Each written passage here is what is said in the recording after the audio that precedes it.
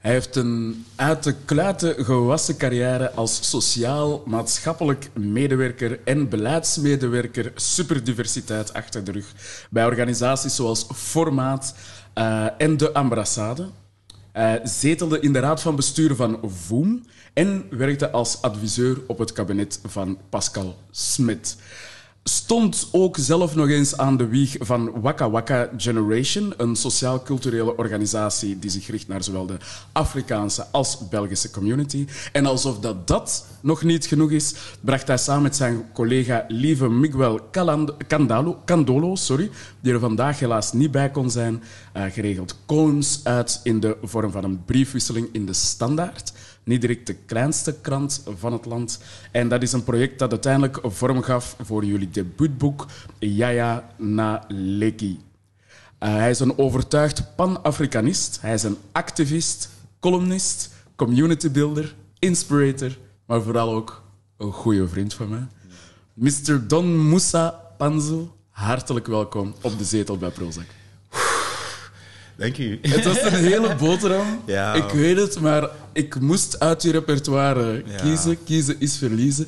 het is nog veel groter. Is er toevallig nog iets wat je zelf zou willen aanvullen? Iets belangrijks wat ik vergeten ben? Nee, ik zou maar de nadruk vooral willen leggen op het laatste wat je zei. Inderdaad. Een goede vriend van u. Die ik vooral hier zie als, uh, als familie, als broer, als vriend. En uh, wat wij allemaal in het verleden hebben gedaan, is leuk. Uh, maar samen kijken we naar de toekomst. Dus Beschouw als een vriend vooral. Inderdaad, inderdaad. Heel goed is. We hebben veel, uh, we hebben veel uh, gespeeld mm. in het verleden. Dat is waar, echt waar. We hebben elkaar als spelende tijdens onze adolescentie iets later tegengekomen, maar nu ja. begint denk ik het serieuze werk. Ah ja, voor mij toch alleszins, voor u is dat al een tijdje bezig eigenlijk. Maar toen was het ook serieus, hè? ook al was het spelen geweest. Ja, dat is waar. Dat is waar. Misschien zie ik het nu iets serieuzer in, mm. ik zal het zo zeggen. Super. Nu, ehm, ja, de reden waarom dat we hier vandaag samen zijn, mm Don, ehm, is natuurlijk omdat je een heel breed, uh, brede wire uh, hebt aan, aan hoede die je opzet in de maatschappij als uh, sociaal-maatschappelijk werker. Mm. Um, maar ook specifiek natuurlijk voor het uh, boek wat jullie geschreven hebben. Uh, dan bedoel ik jou en, en Lieve, die er helaas niet bij kon zijn vandaag. Jullie debuutboek Yaya na Leki. Mm. Um, nu, je hebt daar ook een stuk uit gekozen om voor te lezen. Mm is dat iets wat je misschien nu al wil brengen, of wil je daar misschien eerst een klein beetje omkadering over geven voor de mensen? Denk ik eerder eerst erover wil praten, om dat ja, even super. goed te krijgen. Ja, uh, lijkt mij een goed idee. Maar eerst en vooral een dikke shout-out naar Lieve.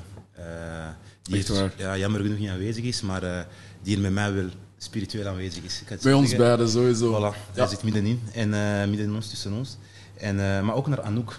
Eh, die ons mee heeft geholpen, mee heeft mhm. ondersteund, gaandeweg, uh, vooral vanuit het redactionele, maar ook vanuit het mentale. Eh, dat was ook voor ons een derde persoon die een vrouwelijke bril ja. binnenbracht in heel het proces. Dus ook haar een dikke shout-out. Hebben we het dan over, uh, hebben het dan over Anouk Torbijns? Ja, of, uh, ah, super. Ja. Dikke shout-out naar Anouk Torbijns. Heeft mij ook al ettelijke malen geholpen met verschillende literaire stukken, dus bij deze. Respect voor haar. Uh, zij zit ook op de zetel bij ons vandaag. nu, um, ik had het al uh, een klein beetje aangegeven in de intro. Hey, je bent een uh, Pan-Afrikanist. Mm -hmm. Uiteindelijk, lieve is dat niet. Dat is ook een, een, een soort van dualiteit mm -hmm. die in jullie boeken terugkomt. Mm -hmm. Nu kan je misschien heel basic even toelichten. Um, waarom ben jij een Pan-Afrikanist en wat houdt die term voor jouzelf eigenlijk ja. in? Want voor iedereen is dat wat anders, denk ik, om in te vullen. ik denk uh, dat ik drie uur nodig heb om uit te leggen eigenlijk wat een Pan-Afrikaan is. We gaan dat op uh, drie minuten is. doen. We gaan dat op drie minuten doen. Dus het ding is van... Uh, ik denk dat het vooral een ideologie is. Een manier van kijken naar de samenleving. Een manier van jezelf te positioneren in de samenleving. Als zwarte mens. Uh, mens met een hoofdletter. Dus vrouw, man, x. Maakt niet uit. Maar als persoon met een kleur die donkerder is en de oorsprong ervan of de afkomst in Afrika ligt, op Afrikaans continent ligt, ehm, en jij dan ook daar naartoe gedraagt, u daartoe zit en niet te veel kijkt naar het andere. Het andere is bijvoorbeeld uh, l'Occident, hoe zeg je dat, de west, het Westen. Ja. Uh, en die invloeden daarvan. Uh, iemand die kiest eigenlijk, een ideologie die kiest eigenlijk om zich te focussen op eigen continent, Afrika, om te streven naar autonomiteit van het Westen of andere streken. Uh, die streeft eigenlijk naar een unie, mm-hmm. zowel politiek, maar ook cultureel. Uh, een unie waar de diversiteit van de verschillende mensen, volkeren of etnische groepen gerespecteerd wordt, maar toch strevend naar eenzelfde doel, zijnde een onafhankelijke Afrikaanse continent. Ja.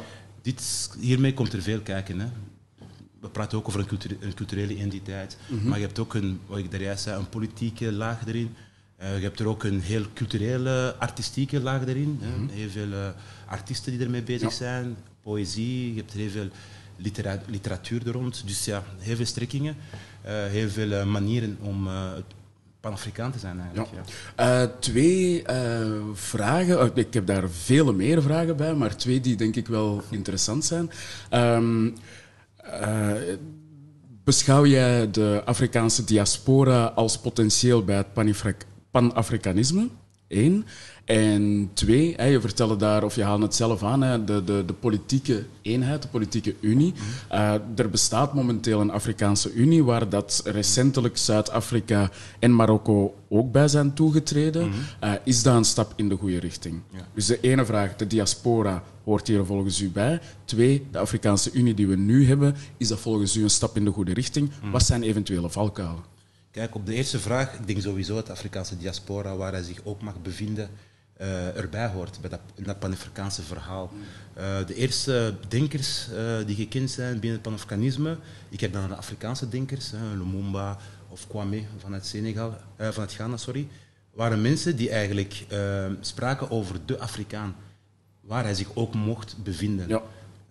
mensen zoals Lumumba en Kwame hebben, en nog anderen hebben de kans gekregen toen in de tijd om naar Europa te komen. Sommigen mhm. gingen naar Amerika, sommigen naar Indië, maar de eerste mensen van kleur van het Afrikaanse continent die zich in die diaspora bevonden, zij hebben de, het Pan-Afrikanisme eigenlijk aangewakkerd, mee uitgevonden.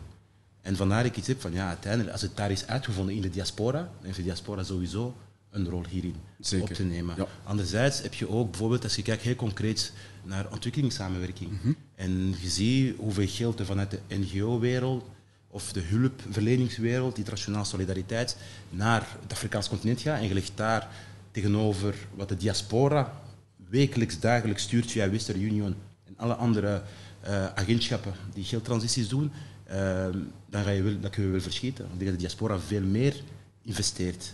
Mm Dubbel zoveel, denk ik, of zelfs drie dubbel zoveel investeert in het Afrikaans continent en ervoor zorgt dat er kinderen, mensen, familie naar school gaan, eten krijgen, etc. Dus er is een actieve rol van de diaspora, sowieso. Ja. En um, super interessant dat je dat zei, want dat wist ik zelfs niet dat de diaspora eigenlijk meer investeert dan dat de ontwikkelingssamenwerking doet. Um, uh, met dat je dan ook vertelt dat uh, onder andere Lumumba uh, ook mee het Pan-Afrikanisme in Europa mee vormgegeven heeft. Um, zou, het dan kunnen, zou je dan kunnen besluiten dat wij eigenlijk, want wij zijn diaspora, eigenlijk een, een, een heel belangrijke rol spelen in de uh, unificatie van ons continent? En zo ja, hoe kunnen wij die rol beter gaan invullen? Zeg maar? Hoe kunnen we dit gaan kaderen, zodat elke broeder en zuster van ons dat begrijpt mm. en daar ook mee kan instappen in dat verhaal? Ik denk dat dat een heel interessante vraag is. Uh, ik, heb, ik heb een privilege. Een mhm. privilege dat ik, mijn beide ouders van Congo zijn, dat ik uh, regelmatig reis naar Congo, in Kinshasa, dat ik praat met de Congolees, uh, waar ik me hard mee identificeer als persoon die in de diaspora is opgegroeid. maar ik merk gewoon dat de zoektocht bijvoorbeeld, heel specifiek naar de, in de Congolese gemeenschap, de zoektocht naar onze identiteit, zowel cultureel als politieke identiteit, is niet eigen aan de diaspora. Mensen in Congo bijvoorbeeld zitten daar ook op, zijn ook daar ook op zoek naar wie ze zijn, van waar ze komen. Uh, ook daar hebben zij, kennen zij tendensen van verhuizing, migratie. Congo is een heel groot land, even groot als West-Europa. Uh, West, West sorry.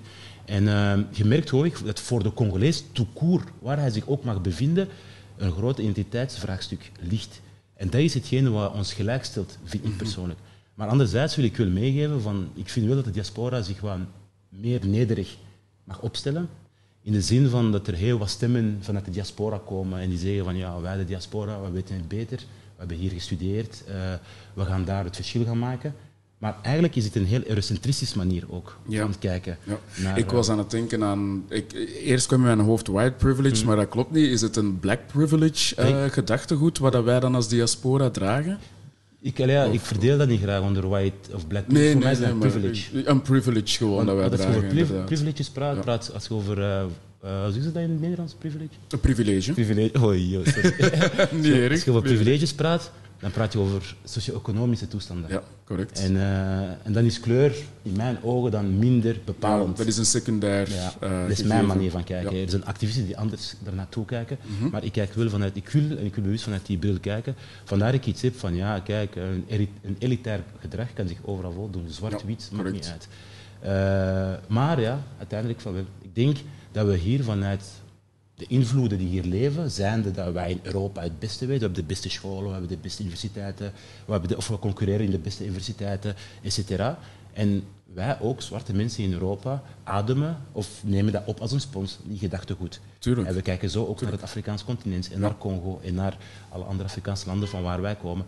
Daartegenover heb je een hele jonge populatie die ook wel studeert en ook wel universiteitstrajecten of een parcours of een carrière lopen. Er zijn proffen in eh, Congo, er zijn mensen die masters hebben in Congo.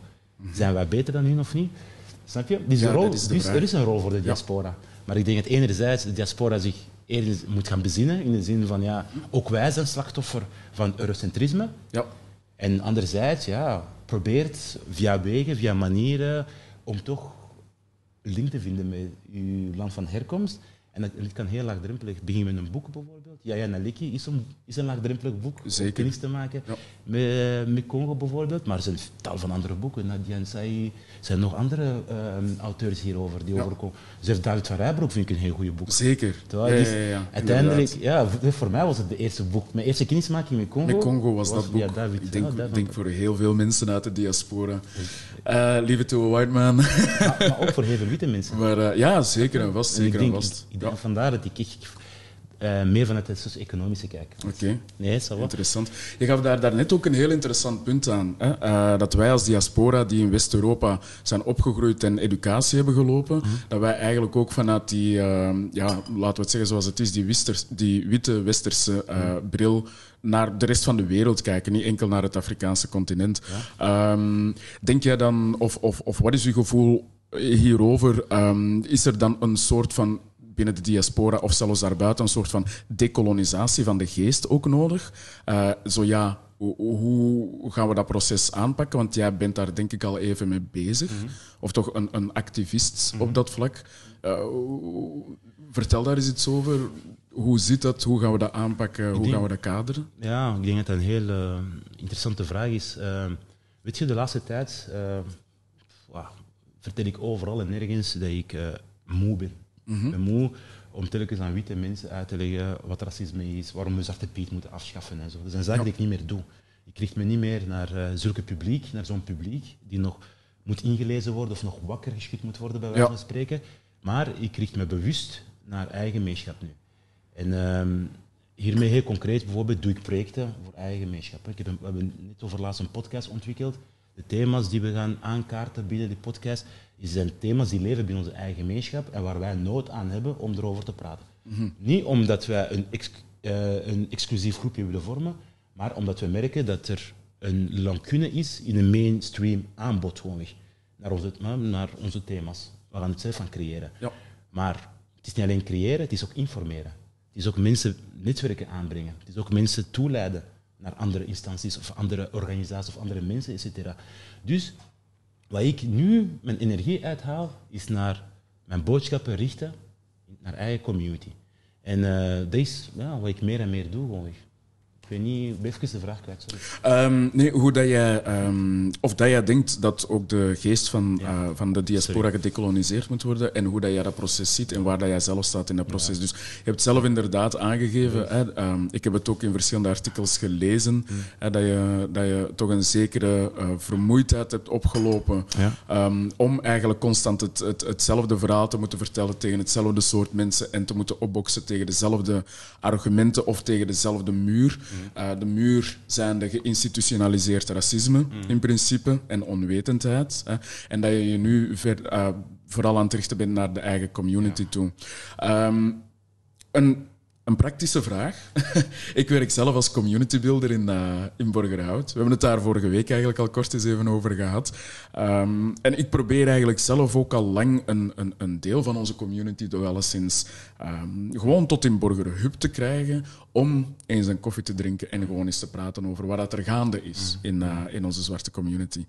Um, iets wat mij tot op heden nog niet echt gelukt is. Wat is jouw truc om, om onze community, eigenlijk onze broeders en zusters, samen te krijgen? Om over bepaalde onderwerpen, zoals decolonisatie van de geest, zoals panafricanisme, zoals geïnstitutionaliseerd racisme te praten. Ja, ik ga even terugkomen op de vorige vraag, want ik was oh, Ja, geen probleem. Dit was een bangelijke vraag dat ik stelde, maar, nee, maar kom graag terug op de vorige. Houd vast, alstublieft. nee, de vorige... Waarom richt ik mij op mijn eigen community? Omdat ik ja, aangeven van ook, daar is ook heel wat werk. Ja. Daar ligt nog heel wat werk. En, uh, en, en ik zie niet vanuit de, vanuit pretentie dat ik zelf gedecoloniseerd is, want ik ken niemand die gedecoloniseerd is. Uh, momenteel niet in lijf. Ik heb nog niemand tegengekomen. En ik vind dat er nog zoveel van die stereotypes, van die gewoontes die een koloniale oorsprong hebben, nog leven bij onszelf. Mm Dat ik iets heb van ja, maar laat daar mijn werk naartoe gaan momenteel. Ja. Want die return die ik krijg van die mensen, als, ik iets, als, het, als iets goed lukt, na een goed praktische return die ik krijg, het voelt zo hard mijn immer dat ik daar wel energie uit haal. Meer dan tegenover een muur staan. Ja. En uh, voilà. En dan kwam uw vraag terug. Uh, ja, ik werk zelf als uh, community builder in, uh, in Borgerhub, in is mijn techniek. Oh, ja, ja om, om onze community samen te krijgen, al is het maar om gewoon een koffie te drinken mhm. en gewoon al eens te praten met uh, Kibipoti. Ik dan, hoe gaat het met u? Don, hoe gaat het in het gezinsleven? Enkel dat. Dan hoeft het nog niet over diepere onderwerpen te gaan die we nu net hebben aangesneden. Ik denk wat heel vaak werkt, uh, ook werkt voor andere groepen, gewoon te koer, is het vindplaatsgericht werken, de outreachings. Ja. In de zin van, ja, in plaats van hun te lokken naar Borgerhub bijvoorbeeld, waarom gaat Borgerhub niet naar hun? Ja. Waarom, uh, waarschijnlijk, ja, ik weet met de weeromstandigheden waarschijnlijk gaat het nu minder lukken. Waarom doen jullie samen geen barbecue in hun wijk? Of ga je, waarom ga je geen koffietafel letterlijk brengen in hun wijk, voor hun deur?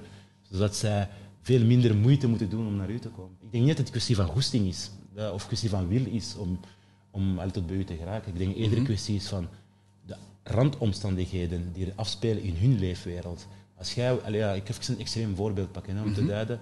Uh, als jij wakker wordt, je gaat naar je brievenbus, je ziet daar drie, vier openstaande rekeningen herinneringen. En je herinnert je nog, ah ja, nee, ik moet mijn klein broer daar gaan afzetten. Ah ja, uw, uw moeder beeld, ik je zuster gaan halen daar, daar, daar. Je komt naar buiten de, en dan toevallig passeert een racist die kijkt naar u hè, met de fiets, die heeft u bijna omvergereden en die geeft u een vieze blik en je geeft, allee, die frustratie. En dan zegt iemand, hey, maar kom eens af naar Borgerheup, kom je koffie drinken met mij. Snap je? Dat is waar. Ja, ja, ja. Het is eigenlijk een totaal andere realiteit waarin dat wij leven. En, en dan begrijp ik ook beter wat je daarnet, hoe dat je daarnet het gesprek eigenlijk begon. Met dat je zei van... Hey, um, ik ben uh, geprivilegeerd. Mm. Geprivileerd, geprivilegeerd. Nu ben ik het zelf kwijt. het is een privilege om mezelf te zijn. um, dat is bij mij in principe eigenlijk ook. Um, ik ben dan wel geadopteerd. Hè. Ik heb twee witte ouders, maar ik heb nooit echt moeten... Ik heb wel... Natuurlijk heb ik mijn eigen strijd. Iedereen heeft zijn eigen strijd. Maar um, bij mij werd dat wel uh, gekaderd. En wat je daar zegt, hè, inderdaad, van openstaande rekeningen uh, of een kaartje voor je gascentrale, et cetera, dat uh, is bij mij nooit het geval. Dus dat is een zorg minder, wat dat wil zeggen minder stress. Meer tijd. Meer wat dat wil zeggen meer tijd om met intellectuele dingen bezig te zijn, inderdaad. Ja. ja. Maar uh, uh, ja, inderdaad. En ik denk dat we moeten stilstaan bij onze privileges. En het gaat me niet om zwarte privileges of witte privileges. Uh, ook al bestaan die, hè, die, die formats. Maar het gaat me eerder van, oké, wat kan ik bijdragen vanuit mijn privileges aan de samenleving. Dat is echt een belangrijke. En uh, ik denk een eerste stap, een eerste stap is bewustzijn van je referentiekader. Ja. Waarom, slaag, waarom slaag ik niet om hun rond de tafel te, te, krijgen? Misschien ligt het niet aan hun, misschien ligt het aan u. Ja. Is een beetje die denkoefening. Ja, inderdaad. Ja, vandaar. Het was een oprechte vraag. Ja, ik, eh, ik wijs zeker niet met de vinger naar mijn community. eh. Ik ben zelf ook nog maar, nog maar 36 mensen. ik sta in het begin van mijn leven. Ik ben e- extreem veel aan het leren. Allemaal. Dus, eh, dus bij deze. Nu, ehm, wat ik merkte in, in eh, eh, jullie boek, hè, waar dat je straks eh, een beetje meer toelichting over gaat geven, is dat er toch een, een, een zekere dualiteit bestaat eh, tussen de ideologie van Lieve en, en jij. Ehm, Lieve, of, of, of jij bent toch wel heel erg voor het Panafrika- Pan-Afrikanisme. Ehm, Lieve ook wel, op een of andere manier, maar ziet dat anders, belichaamd, wil dat anders belichaamd zien. Ehm, kan je misschien eens een klein beetje vertellen over die intellectuele strijd eh, dat jullie eigenlijk voeren door de briefwisseling dat jullie doen, of hebben gedaan? Ja. Dus ehm, ja, ik vind het moeilijk om het leven hier niet zo met een, een weerwoord te geven of om eh, toch een discussie mee terug te nemen. We gaan hem in de comments laten reageren. Oké, super. Wees braaf, lieve. nee, maar, ehm, nee, maar het ding is van, je merkt gewoonweg, als je het boek leest, merk je een soort evolutie in onze gedachten. In de manier dat we onze gedachten ontwikkelen. Ehm, ook, ook in mijn schrijven merk je dat ik... Sommigen noemen het soms... eh, oh, Don, je radicaliseert in je boek. Je merkt dat je eerste, van je eerste brief naar je laatste en naar het stuk... En eigenlijk wil ik een stuk voorlezen, dat is het laatste stuk dat ik heb geschreven. En, eh, en je merkt dat dat echt een stuk is die ik vanuit een soort activisme, een soort militantie, militant zijn heb geschreven. Om het ook... Ik had van, kijk, ja, nee, je weet nooit wanneer ze de deur sluiten voor je. Je weet nooit wanneer ze je, in de termen van vandaag, cancelen, bij wijze van spreken. ja, ja. Dus ik ga het vertellen gewoon. Ik ga het allemaal zeggen hoe ik kijk. ehm, en, eh, maar de mensen die het boek hebben gelezen, die me ook kennen, die zeggen van ja, maar Don, je merkt, je leest de evolutie in je, gedachtegoed, in je gedachtegang. En deze intellectuele evolutie die ik maak, Lieve maakt, het, maakt, maakt die ook. Maar die van Leven die gaan naar een andere richting. Van Leven situeert zich en positioneert zich ook op een andere gebied. Hij kijkt echt naar België. Voor hem, hij wil precies eh, constant of continu of nog steeds die seat, zijn stoel meenemen rond die tafel. Hij kijkt naar de tafels die er zijn, naar de instituten, naar de organisaties, et cetera, die er zijn. En heeft een heel enthousiasmerende, positieve boodschap van ah ja, nee, maar kijk, we geraken door de superdiversiteit, et cetera. Ik ben ook iets ouder als Leven en ik heb ook ja, meer gezien als Leven in een zekere zin. Eh, ik ben veel minder... ehm, hoe, zeg je dat? In alle respect, ik ben veel minder eh, naïef eh, in dat gegeven. En ik heb zoiets van, het gaat voor zoveel mensen niet goed gewoonweg. Het gaat, zoveel mensen hebben nood aan verandering nu. Niet morgen, niet overmorgen, maar vandaag. En voor die mensen, als jij hun vraagt, hé, hey, Don, superdiversiteit, Kumbaye, die zeggen, nee, nee, Don, nee, nee, Don, voor ons is het niet goed, niet fijn. En die mensen, welke kleuren ze ook mogen hebben, die mensen beginnen nu ook rechtse discours te hebben. Ja. Oh ja, nee, oh, die, die vreemdelingen. Oh. Mensen van kleuren. Maar ik merk dat dat komt omwille van de situatie waarin ze zitten, in de urgentietijd dat ze in zitten, snap je? En vandaar ik is het besloten van, kijk, zolang ik platforms krijg als deze of andere, ga ik die boodschappen vertellen. En ik ga die, die dystopie ga ik blijven vertellen. Niet om mensen depressief of, negatief te maken, nee, maar zodat wij een oplossing kunnen gaan zoeken. Zodat wij echt het fenomeen, kunnen vastpakken vanuit een nuchtere bril en naar oplossingen kunnen gaan zoeken. In plaats van onszelf uh, te blijven schouderklopjes te geven. Uh, ah ja, goed bezig, dat, dat, ah ja, we bestap voor, we praten niet meer over Zwarte Piet. Also, Zwarte Piet is nu al een roetpiet geworden. Oké, progressie. Ja, maar wat, maar wat verandert dit voor de persoon die onder de minimumloon geld... Allee, snap je? Die ja. leeft onder de minimumloon, et cetera.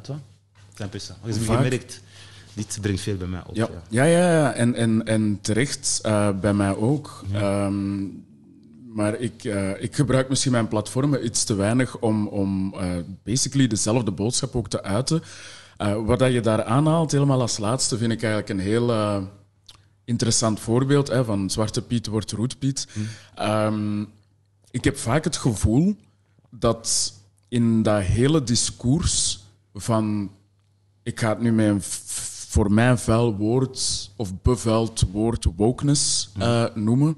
Dat uh, onder andere onze community, maar ik denk de gekleurde community, heel vaak een, een, een, een, een wortel wordt voorgehangen. Uh, als in, kijk, hè, we gaan het nu hebben over Zwarte Piet wordt een Roetpiet. Dus we zijn nu toch goed bezig. Mm -hmm. we gaan het hebben, we gaan alle adoptieprocessen in één keer stopzetten. Dus we zijn nu toch goed bezig, terwijl dat de eerste commissie volledig uit witte ehm, niet-ervaringsdeskundige personen bestond. hè. Zo gaan die direct stopzetten, dus we zijn toch goed bezig. Ik heb vaak het gevoel dat, het- dat ze heel veel lapjes op de wonden eigenlijk eh, leggen, zonder de wonden zelf eigenlijk aan te kaarten en proper te maken. Heb jij zelf dat gevoel? Ja, vandaar die vermoeidheid. Hè. Ik denk eh, voor mensen zoals mij en hè, mensen zoals u en nog anderen die hier eh, actief mee bezig zijn, dat, het- dat er heel veel symboliek is. Ja. Heel veel eh, symbooldossiers. Eh, Ja. ik, in mijn panafricanisme, ik zeg ook van, kijk, kom niet meer praten met mij over standbeelden weghalen of laten staan. Eh, want, nogmaals, ik herval op die armoede, gekleurde armoedeverhaal. toch? En, want dat is voor mij opportuner om te gaan praten erover. En ik snap dat je mij wilt uitnodigen op een zevende dag of op een platform om daarover te gaan praten. Maar dit is weer jouw agenda. Dit is weer jullie agenda. En wanneer mag ik eens mijn agenda brengen en onze agenda brengen? Ik denk inderdaad, iemand die honger heeft, heeft er geen nood aan om alle borstbeelden van Leopold II of andere ehm, kolonisatoren weg te halen. Neem niet weg dat, niet dat je daar... Neem niet weg dat er een intellectuele groep is die eh, wel nood heeft om, dit om dat bespreekbaar te maken, Mhm. om erover te discussiëren, om hierover, om hierover uit te wisselen. Je hebt een groep die dat nodig heeft. Maar ik zeg maar aan de vraag van, oké, maar wat is de doelstelling dan van die groep? Allee, ja, maar dat is iets... Ja, zeker. Ik ervaar, ik ervaar een klein beetje hetzelfde eh, nu, heel actueel. En dat is niet direct kritiek op, ehm, op het district, maar in het district Borgerhout eh, is een, een, een beweging ontstaan, is een, een, een eh, evenement bezig dat, dat jaren gaat duren over eh, de littekens van kolonisatie in Borgerhout. Eh, zoals dat jij zelf ook wel weet, zijn er enorm veel straten en pleinen eh, vernoemd naar luitenanten, generalen die in Congo massamoorden gepleegd hebben en dan verheerlijkt zijn uiteindelijk. ja. Als ook gedenkbeelden of gedenkplakaten, zelfs tegen het districthuis van Borgerhout hangt er een. Ehm, wat dat toen in der tijd eh, de propaganda was uiteindelijk om te laten zien van kijk, België is goed bezig in wat dat ze doen. Ehm, en momenteel is, is, is er dus een gesprek ontstaan over gewaarwording, awareness daarover en over wat dat we daar moeten, mee moeten doen. Ehm, ik, heb verschillende, ik heb in verschillende van die praatgroepen gezeten. Ik heb verschillende stemmen zien opgaan. Dat is altijd heel sereen verlopen tot hiertoe. Binnenkort is het in een Amor. Dat gaat iets anders zijn dan in het districthuis zelf natuurlijk. Maar ik heb zelf ook het gevoel van, kijk, ehm, ik ken redelijk wat ehm Ghanezen of, of, of Angolezen die hier in Borgerhout wonen. Bon ja, die interesseert dat echt niet of dat dat de Luitenland Nippes of het Van Sotteplein is, eh, dat, dat dat heet. Wat hun interesseert is dat hun broeders en zusters naar school kunnen gaan en wanneer dat ze een A-test hebben, dat ze niet naar het BSO worden gestuurd uiteindelijk. Of wanneer dat ze hetzelfde certificaat hebben als een witte man voor een job, dat ze niet voor die witte persoon kiezen uiteindelijk. Het is, het, ehm, het is, het is ook weer een symbooldossier. Langs de ene kant de intellectuele discussie moet gevoerd worden, maar heb je ook niet het gevoel dat dan op een sidetrack daaronder, daarover, daarnaast de praktische, de praktische discussie ook gevoerd moet worden? Ja, natuurlijk. Ik denk het sowieso, eh, alleen voor alle duidelijkheid, voor mij is het een en-en. Ja. Dus intellectueel discours, debatten, oké, fair, fair enough. Want uiteindelijk, ja, dit helpt ons ook om taal te geven aan onze samenleving. En nog te weinig weten we waarover we praten, omdat we niet de juiste taal hebben te doen. Dus ja, intellectueel is nodig. Maar anderzijds, dat veldwerk. Oké, hoe krijg je dat in de, in de buurten, in de buurthuizen, hoe krijg je daar helemaal tot daar die debatten? Op hun maat, in hun taal. En ik praat niet over een andere taal, hè. ik praat echt over het Nederlands taal, maar in mensentaal. hoe krijgen we, dit is een, dit is een uitdaging. Dus het is een en-en verhaal, sowieso. Maar we moeten wel oppassen voor iets, vind ik persoonlijk. Eh, in de tijd, eh, zes, zeven jaar geleden, heb ik gewerkt op radicalisering ehm, van jongeren en jongerengroepen. Toen was dat met betrekking tot Syrië, et cetera. En toen heb ik een onderzoek gedaan rond de voedingsbodem, van waarom vertrekt nu zo'n gast naar Syrië.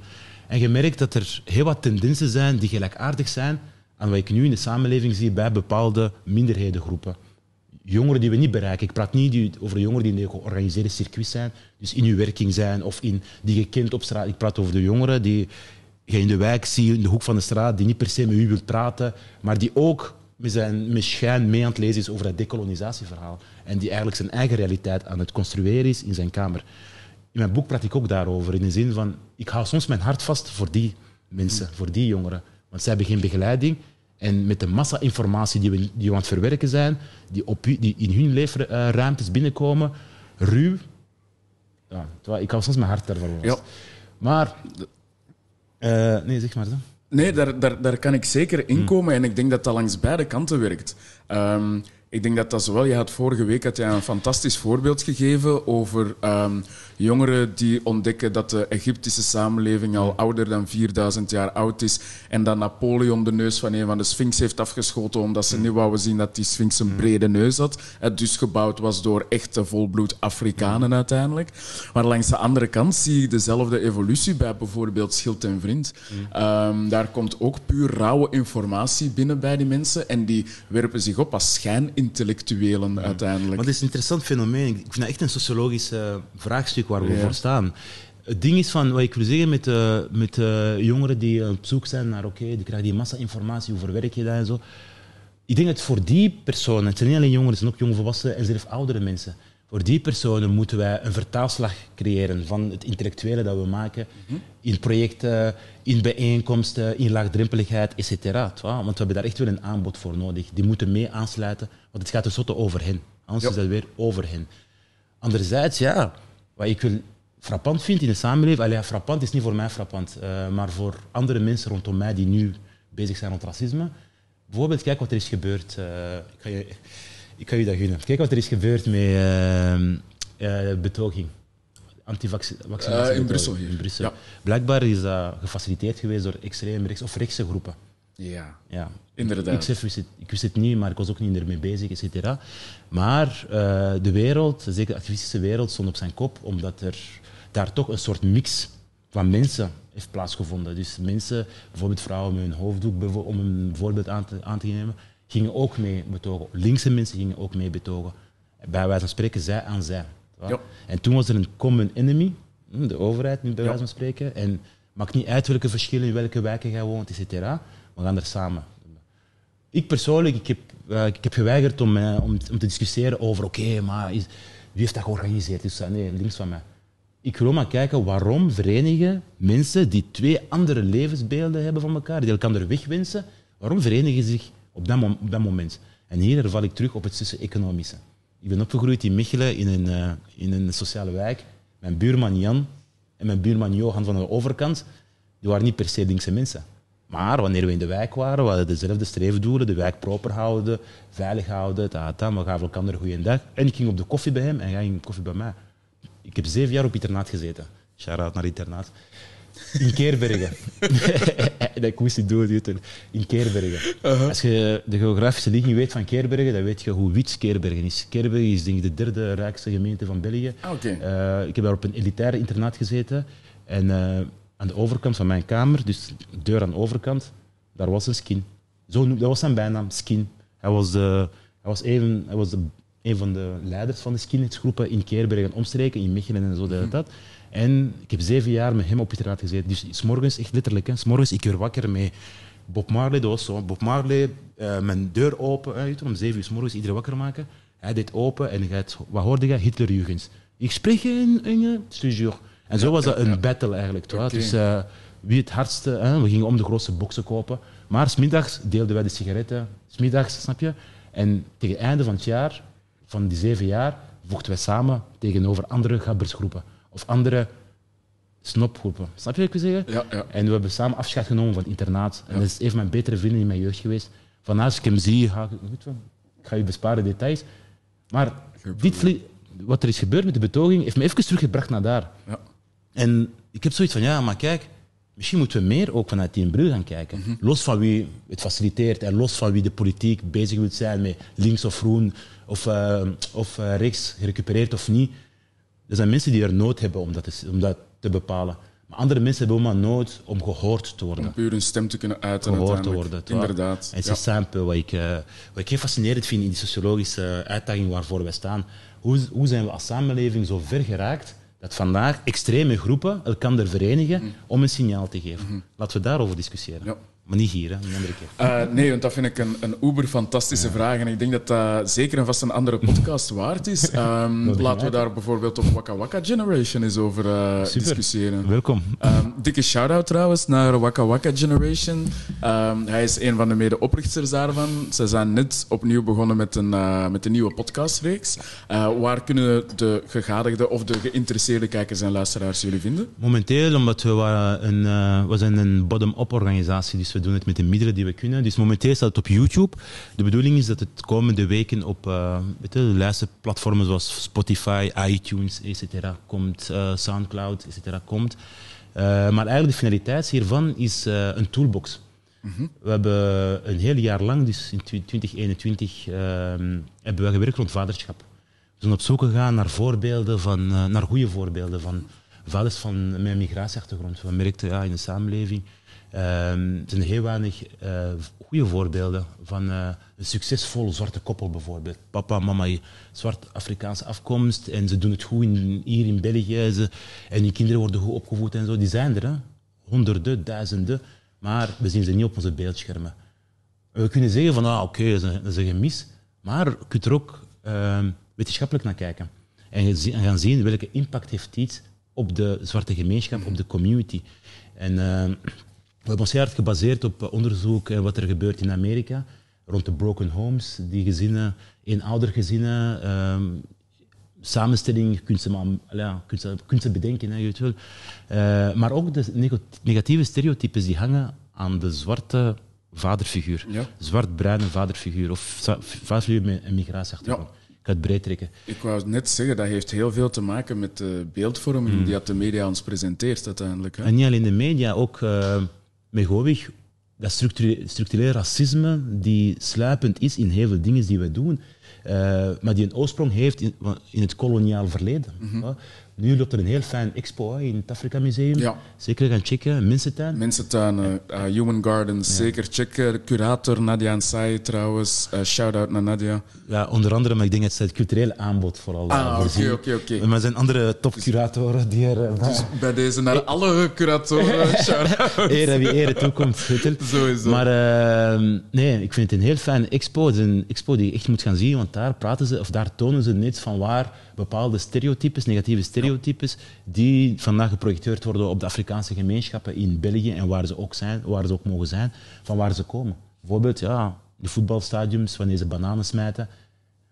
100, 200 jaar geleden had je mensen zo's, waar mensen, brave burgers, bananen smeten naar de dorpelingen die overgebracht werden van Afrika. Ja. Dus de link is niet ver te zoeken. Mhm. En het zijn die zaken, het zijn die zaken die ik wil uh, ja, wil aankaarten. ja, ja, ja, super. Um, en je hebt dat aangekaart in jullie debuutboek, hè, bepaalde dingen. Uh, ben je er klaar voor om uh, ons eens een, um, een kleine impressie te geven? Ja, Want tuurlijk. ik sta eigenlijk zwaar te popelen. Kijk, ding is, ik ben nooit klaar voor zo'n dingen. Maar... Um, ik heb ook mijn boek niet bij, daarom ben ik niet klaar. Maar ik heb het wel op pdf staan en uh, ik heb het altijd bij mij. Voilà, we hustelen allemaal. Uh, dames en heren, hier een uh, exclusief voorleesmomentje van mijn beste vriend Don Moussa Panzu uit zijn debuutboek Yaya na Leki. Uit de assen van het verbrande huisvuil in de achterbuurten is er eindelijk een phoenix gerezen. Vanuit de sloppenwijken van de hoofdstad is een jonge strijder ontsnapt. Hij daagt de elite uit. Hij hanteert een Pan-Afrikaanse discours en streed naar een zelfredzame Afrikaanse Unie. Die bestaat uit autonome naties, autonoom van het Westen. Zijn stem klinkt tot in het diepste woud van het Zwarte continent en de hoogste berg in het Westen. Hij wordt, in de hij wordt de motor van de tweede Afrikaanse decolonisatiegolf, gelijkaardig aan die van de jaren 60. Maar deze keer worden de geesten gedecoloniseerd. De bevrijding van de Afrikaanse mens, waar hij zich ook mag bevinden, zal op het zal op het Afrikaanse continent beginnen. Tien jaar geleden voorspelde ik het al in een brief. Wat ik toen nog allemaal schreef, werd als een dystopie gezien. Ik werd als een negatieve afgeschilderd.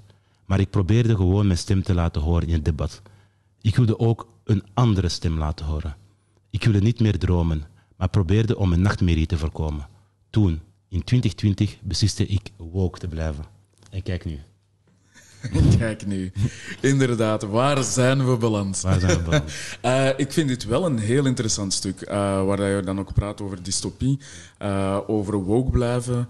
Um, waarom, heb je juist, waarom heb je juist dit stuk ge gekozen, als ik vragen mag? Omdat je, zoals je de rest ook het proberen te brengen, in de zin, of te stellen in de zin van dat ik eerder de Pan-Afrikaan en, en Lieve eerder de Black Lives Matter activistisch. Ja, ja, um, maar ik merk gewoon hoe meer ik mijn Pan-Afrikaanse discours breng en ga brengen, hoe scherper ik het stel, hoe meer radicaal ik gezien ga worden. Ik zeg mhm. niet dat ik radicaal ben, of, uh, maar ik besef dat mijn discours oncomfortabel voor heel veel mensen zal kunnen aanvoelen. En nu, Savan, nu ben ik nog schattig en ben ik nog aaibaar hè, voor heel veel mensen. Uh, maar ik denk gewoon van hoe meer ik die boodschappen echt duidelijk wil overbrengen, en wil aangeven van kijk, voor Afrika is het niet 5 voor 12, maar is het 5 na 12. Uh, hoe meer mensen gaan zeggen, ja, maar Don, uh, oké, oké. Okay, ja, en die mensen gaan van overal komen, vanuit alle, vanuit alle hoeken, alle gemeenschappen. Vanuit mijn eigen gemeenschap, vanuit andere gemeenschappen. Ik denk dat um, het marginaliseren van Pan-Afrikanen een algemene tendens is. Het Pan-Afrikanisme bestaat geen 20 jaar, bestaat bijna 200 jaar als het mm. meer is. Waarom weten we zo weinig daarover? Dat moeten we ook ons vragen gaan stellen. En ik heb dit stukje specifiek zo geschreven om aan te geven van kijk, ik heb jullie dat gezegd. Dat jullie mij negatief gaan vinden. Dat jullie mij een bittere nasmaak misschien gaan hebben. En dat ik misschien een over een dystopie praat. Maar ik doe dit echt om uh, naar de toekomst te kijken, om een betere toekomst te creëren. Mm. Ik zie hier, wauw, ik zie hier plots um, verschillende punten samenkomen tot, tot één lijn. En mijn gedachten zijn nu super ongeordend, dus ik ga het gewoon eruit gerguteren. Um, waar je daar zegt van, eh, momenteel ben ik nog schattig en aaibaar.